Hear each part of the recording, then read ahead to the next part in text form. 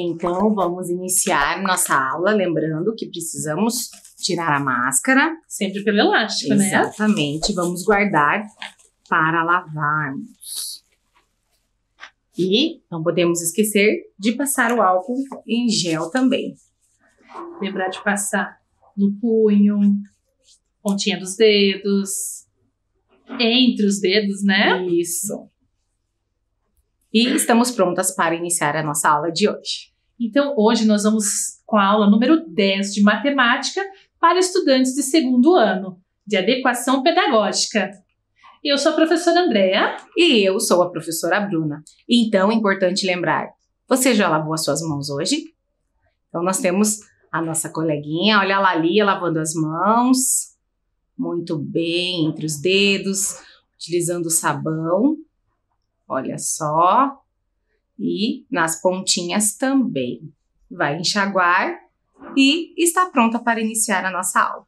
Então, vamos ver qual é a nossa rotina do dia de hoje. Acompanhe na tela. Rotina. Nós vamos separar os materiais, vamos relembrar alguns conteúdos anteriores, fazer atividades, um quiz e também uma tarefa para a próxima aula. Então, vamos ver quais são os materiais que vamos precisar caderno ou folha que vocês já utilizam, lápis preto, borracha, se você tiver, separa também uma régua e lápis de cor. Nós vamos dar um tempinho para vocês. Quem ainda não lavou as mãos, aproveita e já retornamos.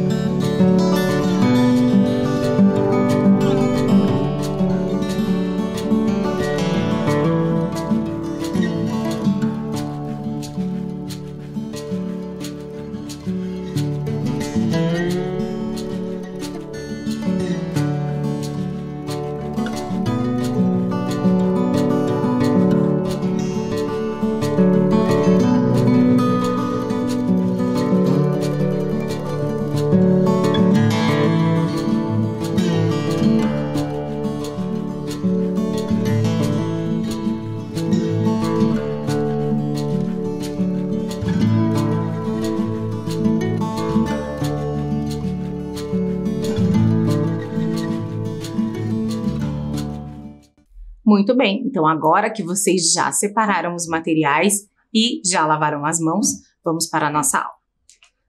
Então, relembrando, vamos ler uma situação problema. Então, olha só. Lia tem três brinquedos e ganhou dois. Com quantos brinquedos Lia ficou? E aí, você conseguiu resolver essa situação problema?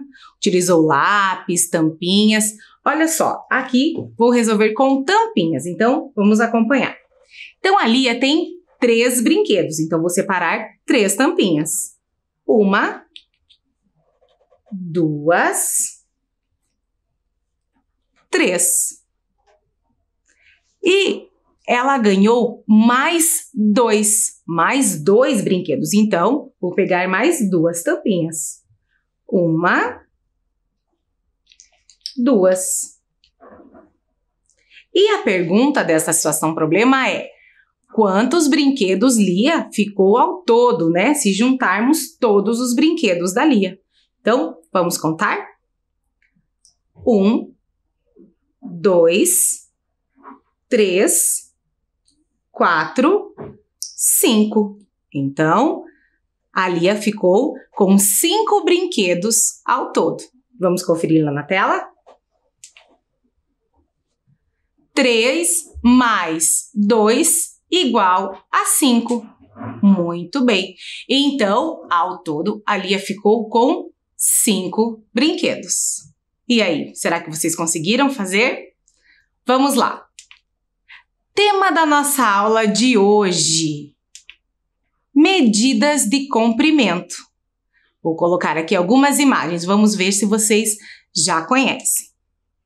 Nós temos aqui uma régua, nós temos aqui fita métrica, nós temos aqui uma pessoa representando passos e também palmo. Então, hoje nós vamos aprender um pouquinho sobre medidas de comprimento. Então, vamos para as nossas atividades. Então, agora vamos para as nossas atividades. Aqui nós temos quatro fichas. Cada uma delas tem uma atividade diferente relacionada a medidas de comprimento. Muito bem. E agora, você quer escolher alguma ou eu posso escolher, professora? Então, pode escolher. Eu vou escolher a número 2. Deixa eu ler o que está escrito aqui. Para que utilizamos a trena? O que é uma trena?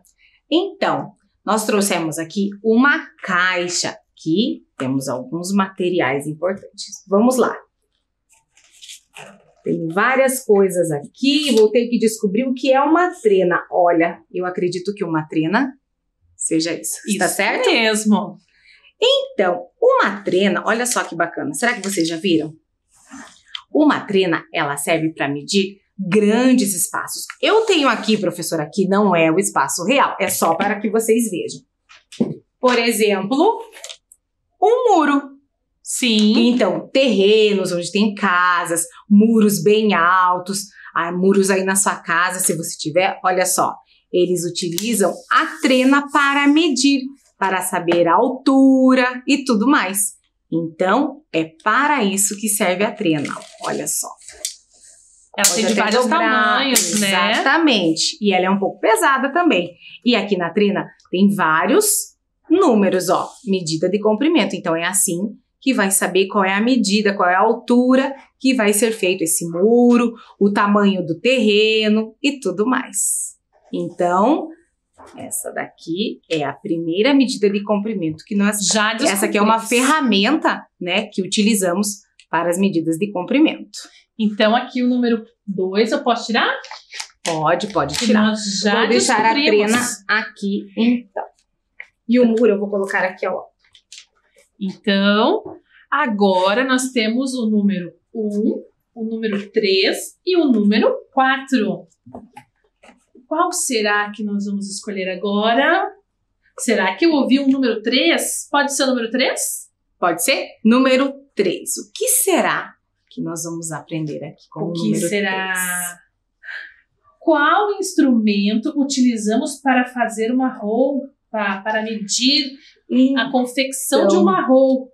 Olha só, eu vou mostrar tudo que tem aqui nessa caixa. Eu tenho. E vocês vão me ajudar a responder. Então, para fazer a roupa, às vezes a gente precisa, né, o uniforme de vocês, que vocês utilizam, né? Para medir cintura, Exatamente. Então, precisa comprimento. do tamanho. Eu tenho uma régua aqui. Deixa eu ver aqui. Posso pegar aqui? Pode. Não dá, porque ela não, não dobra, não entorta, Pois né? é. Acho que Será dá. que a gente utiliza? Será que a costureira lá que faz o uniforme, né? Da escola utiliza a régua? Eu acho que não, não dá, porque ela é pequena também. Será né? que é a trena? Eu acho que essa trena é muito pesada para usar e também não consegue contornar o corpo, né? A trena é utilizada para tirar medidas de grandes espaços, lembra? Do muro, terreno. Então também não é a trena que nós utilizamos.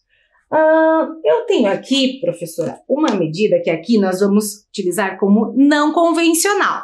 Porque eu tenho, o tamanho da- do palmo da minha mão é um, o do seu de casa é outro, da professora André é outro. Mas será que ela utiliza?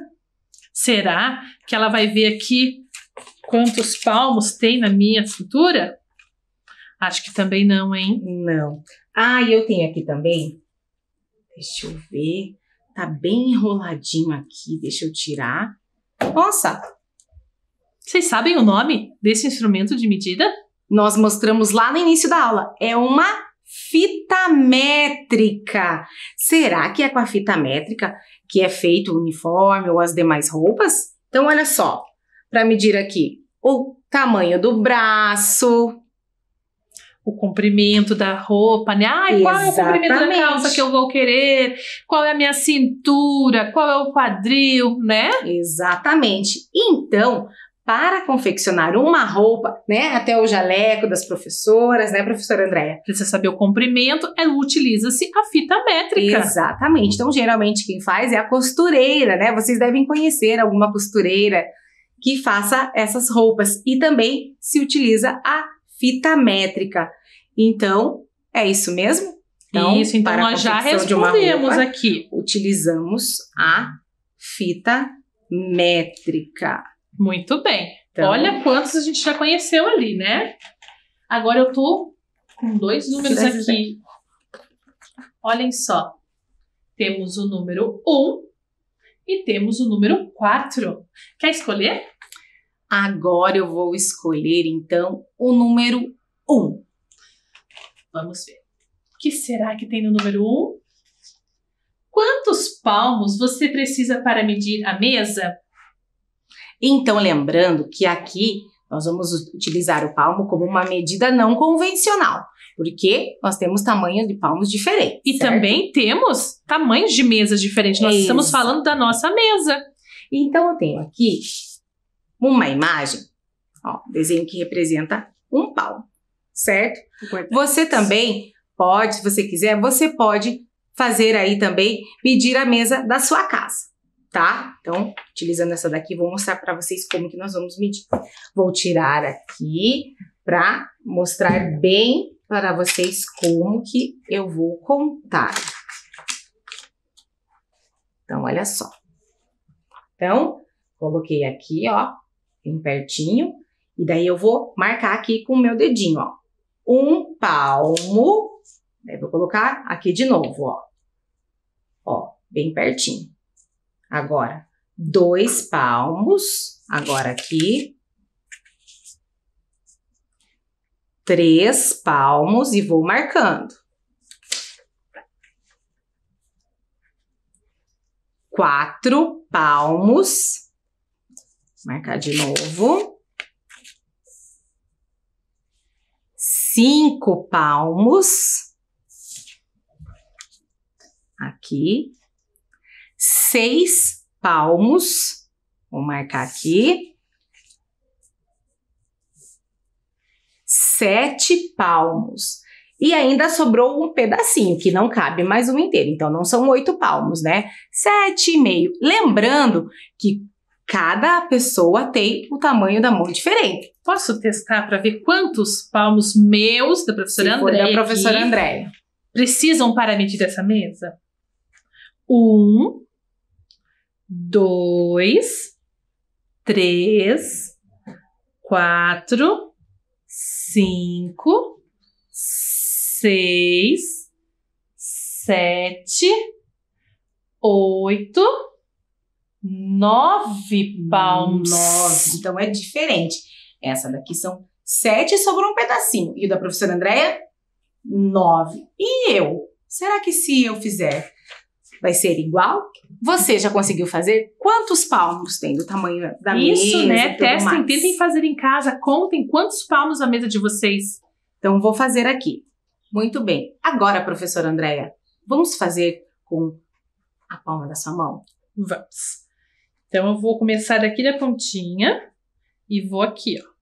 Devo fazer um, dois, três, quatro, cinco, seis. Ó, passou um pouquinho, cinco, quase seis. Muito bem. E agora, será o tamanho da nossa mão, da palma da nossa mão é diferente? Vou fazer também. Então, vou começar. Licença. Vou começar aqui, ó. Um. Dois. Três. Quatro. Cinco seis, sete, oito. Então, mais ou menos do que a professora Andréia? Foi mais, Foi né? mais, né? Foi oito. Então, porque a minha mão é um pouco menor. E vocês? Quanto será que vocês conseguiram fazer? Pode fazer com a porta, pode chamar quem mora com vocês para brincar e ver quem precisou utilizar mais vezes. Muito bem. Então, cumprimos? Cumprimos aqui. Então, vamos lá, vou colocar de novo aqui. E vou deixar esse aqui para representar, né? A trena já fizemos, já conhecemos. Sim. A fita métrica. Colocamos a palma aqui. E agora? Temos o último número. Que número é esse mesmo? É o número 4. Número O que 4. será que o número 4 nos reserva? Qual atividade será? Qual é o seu lápis maior e o menor? Hum, eu vou ter que ver os lápis aqui. Eu vou ver o que eu tenho aqui. Vocês podem ver os de casa, o que vocês utilizam. Qual será que é o maior e qual será que é o menor? Então, eu vou pegar aqui todos os lápis, vou colocar na mesa. Como será que eu vou ver? Vou colocar todos eles, vou usar uma folha aqui para deixar eles todos retinhos, né? Todos bem retinhos aqui. Qual será que é o meu maior? Qual será que é o meu menor? Eu olhando aqui, eu consigo ver que este é o meu lápis menor e este daqui é o meu maior. Vou guardar os outros para a gente ver certinho a diferença deles, né? Ó, tenho dois lápis. O lápis cor-de-rosa é menor e o lápis preto é maior. Esses são os meus. E qual instrumento que podemos utilizar, professora, para comparar? Eu Será aqui, que eu vou pegar a caixa. trena para fazer a medida? Será? Não, para que, que a gente utiliza mesmo ela? Para espaços grandes. E uma fita métrica toda molenguinha aqui, que é difícil de medir com ela, É. porque ela serve pra gente fazer medidas de circunferências, né, na roupa, assim. Exatamente. Também não dá. O palmo também Não. não. Vamos usar a régua. Vocês têm em casa régua? Exatamente. Né? Usa na escola também. Então, nós temos aqui a régua. Temos uma régua aqui. Olha só. Então, eu vou colocar aqui, ó. Tenho a régua aqui. Vou colocar lá no zero e vou ver com o tamanho. Aqui, para mim, o lápis cor-de-rosa tem 14 centímetros, porque a pontinha ficou no 14. Muito bem. Vamos ver o preto.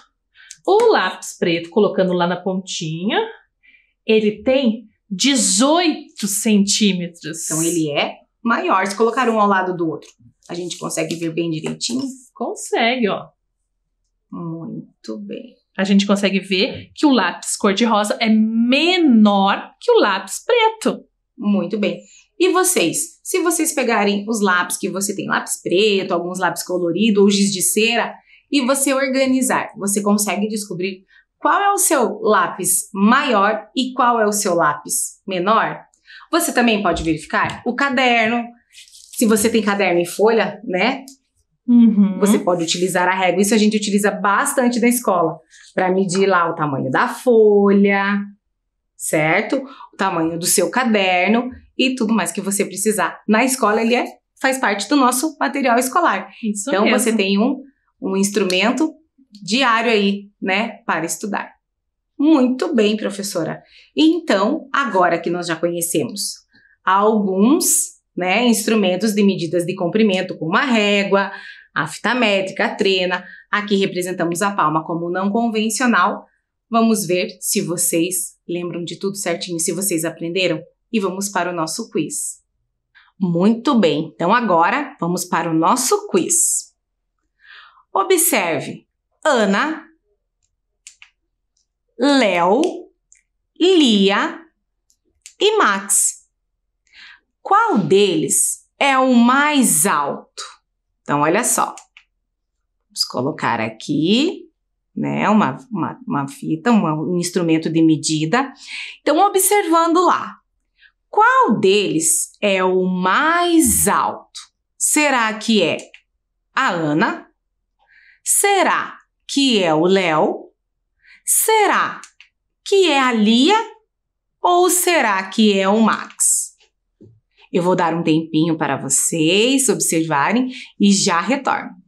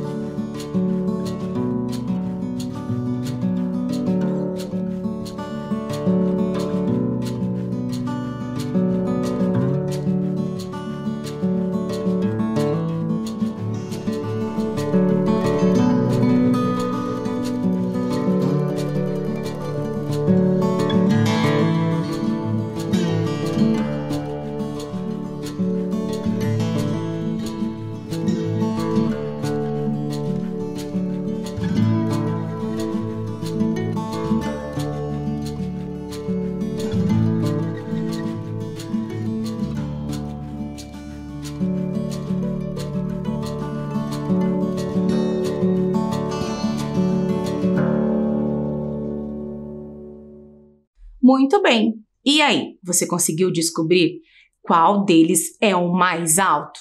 Será que é a Ana? Será que é o Léo? Será que é a Lia? Ou será que é o Max? Então, observem lá e vamos descobrir qual deles é o mais alto? Muito bem! Se você falou que é o Léo, você acertou. Então, vamos para a nossa próxima pergunta. Olha só. Lia vai ganhar um vestido novo. Olha só. Qual instrumento de medida será utilizado para confeccioná-lo?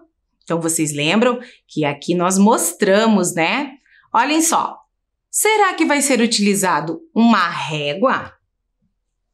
Será que vai ser utilizada a fita métrica? Ou será que será utilizado passos? Então, observem para confeccionar o vestido da Lia, qual instrumento será utilizado. Vou dar um tempinho para vocês e já retorno.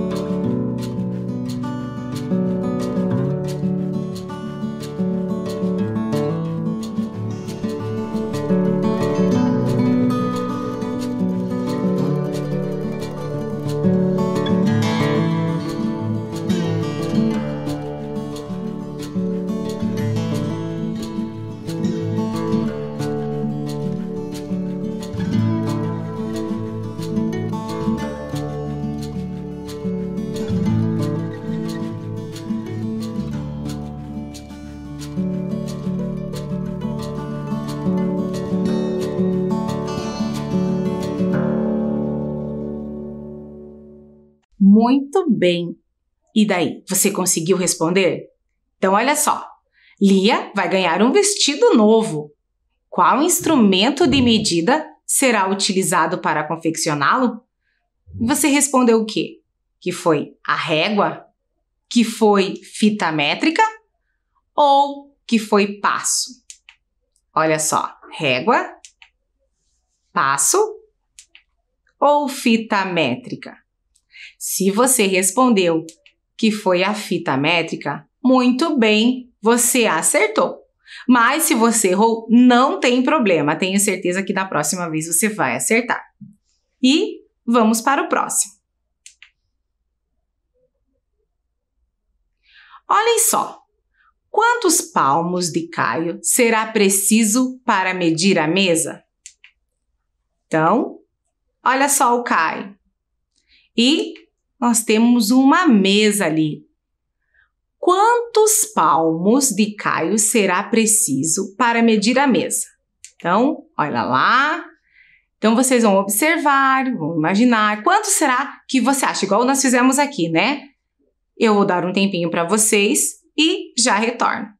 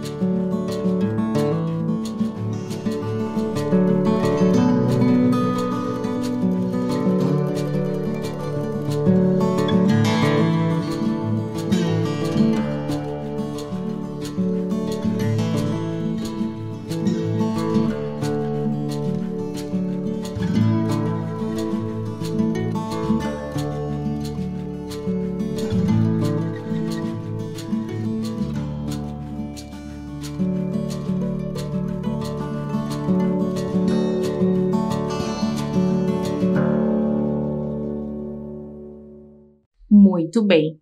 E aí, será que você acertou? Será que você vai chegar no número próximo? Então, olha só, nós queremos saber quantos palmos de Caio será preciso para medir a mesa. Vamos contar juntos? Um,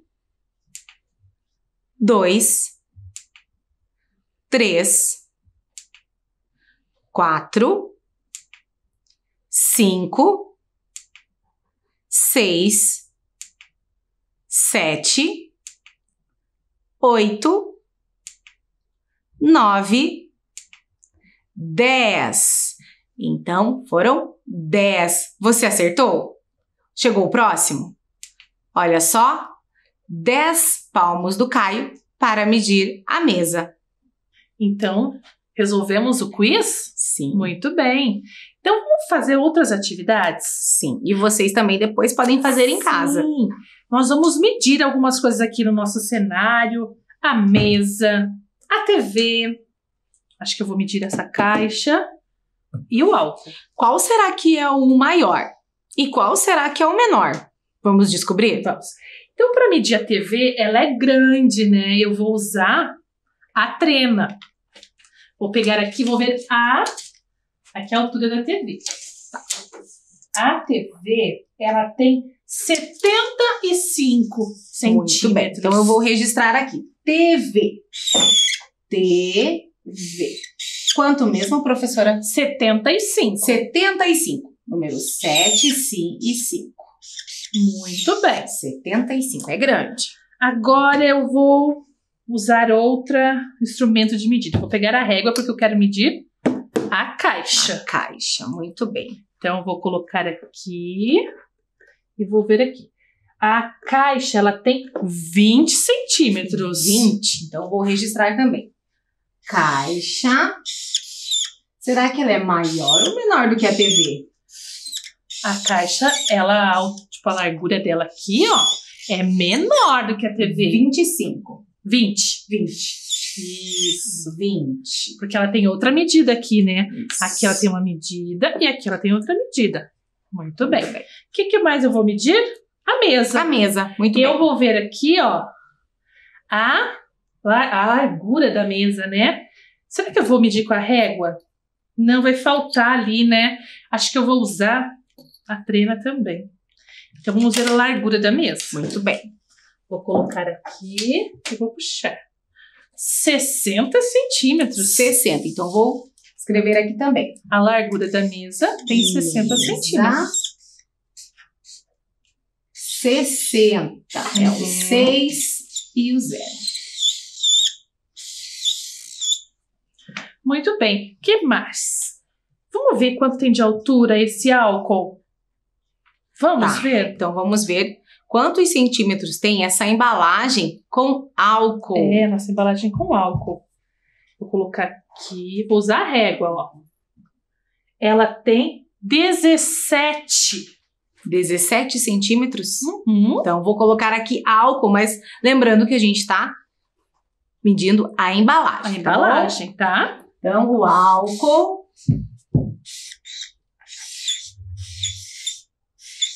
17 centímetros. Uhum.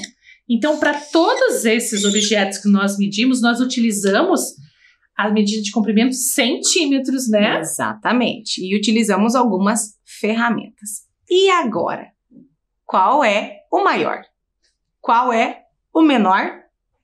Então, a gente olhando aqui, ó, o número maior que nós temos aqui é o número 75, que é aqui a televisão. Aqui. ó. E realmente ela é o maior que nós temos aqui? Sim. Sim. Então o maior é a TV. Então, vou contornar aqui. Então, agora, qual é o que tem? Menos Menor. centímetros. Menor, Qual né? foi? Qual que é? Será que foi Aqui. a caixa? Aqui? 20 centímetros? Ou será, Será que, que foi a mesa? Que foi 60 centímetros. Ou será que foi a embalagem com álcool em gel? Com 17 centímetros. É a embalagem com 17 centímetros, né? Exatamente. Então, Ela é menor. a menor foi a embalagem do álcool, que eu também vou contornar aqui para sabermos qual foi o maior e qual foi o menor. Muito bem. Muito bem. Quantas medidas fizemos, né? Vocês podem fazer isso em casa também. Utilizar a régua de vocês, se a família de vocês tiver aí em casa, um fita métrica também. Exatamente. Ver se vocês encontram uma trena. Podem fazer a medida em casa, né? E agora vamos registrar uma atividade para a próxima aula. Acompanhem lá. Vejam lá. Então, vocês vão pegar a folha ou o caderno que vocês já utilizam, vão colocar a data de hoje, matemática e vão registrar. Olha só, na sua casa, quem é a pessoa mais alta e a mais baixa? Então, você vai conversar com as pessoas que moram com você, vocês podem utilizar algum algum instrumento para medir e você vai registrar. Será que você já sabe quem é a pessoa mais alta e quem será que é a pessoa mais baixa? E registra no seu caderno. Nós vamos dar um tempinho para você copiar e já retornamos.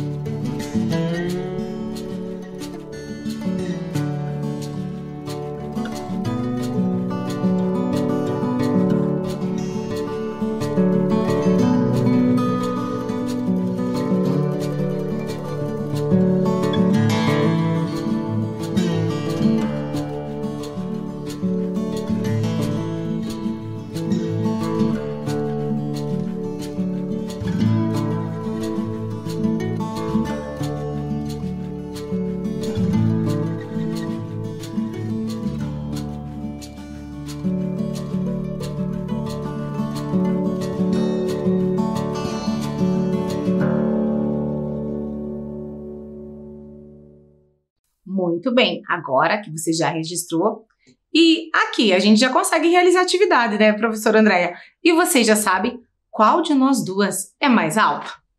Olhem bem. Qual será que é a mais baixa? Quem será a mais alta? E qual professora será é a mais baixa? Já consegue? Eu já sei. Eu também. Opa, quase caiu daqui. Eu tenho 1,70m. Eu tenho 1,64m. Eu sou mais alta que a professora Bruna. Isso mesmo. E aqui, entre nós duas, eu sou a mais baixa. Muito bem. Então, será que nós cumprimos com toda a nossa rotina? Vamos lá ver? Acompanhe na tela. A rotina. Separamos os materiais. Muito bem. Relembramos, né? Outros conteúdos. Fizemos as atividades? Sim.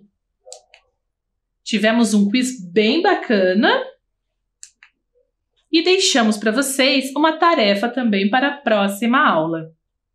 Cumprimos toda a nossa rotina do dia de hoje. Professor. Exatamente. E agora, para finalizar, antes de ir embora, nós não podemos esquecer de colocar a máscara. Mas temos que passar primeiro o álcool para pegar uma máscara limpinha. Não esquecer de passar nos dedos. Exatamente. No punho. Bem direitinho.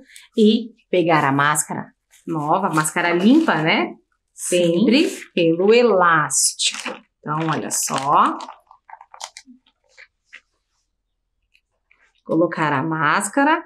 Não podemos esquecer de tampar, né? Nariz bem direitinho a boca. E a boca também, né? E assim encerramos a nossa aula de hoje. Até a próxima. Até a próxima. Tchau.